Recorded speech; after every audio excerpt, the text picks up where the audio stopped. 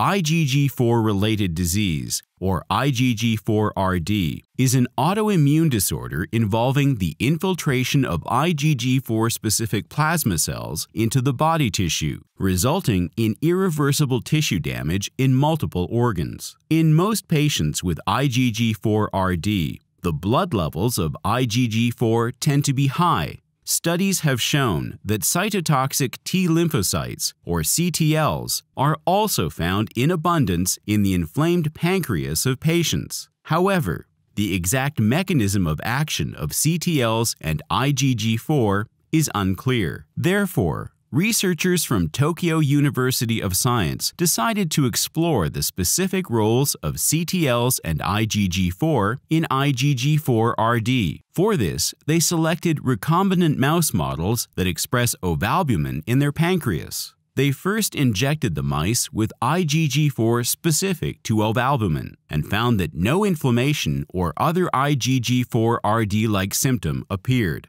indicating that IgG4 alone was not the causative factor of IgG4-RD. Next, they injected both ovalbumin-specific IgG4 as well as CTLs into the mice.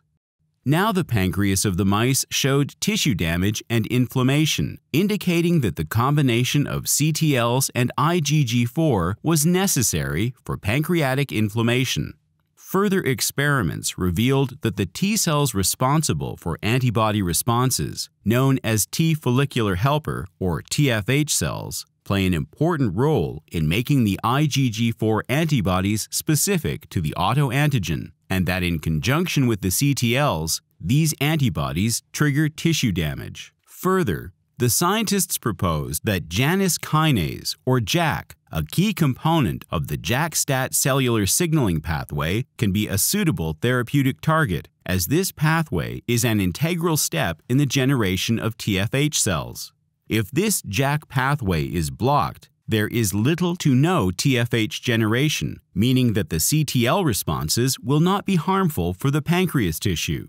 Based on the broader findings of the study, reduction of antibody responses and inhibition of the function of CTLs can also be therapeutic targets.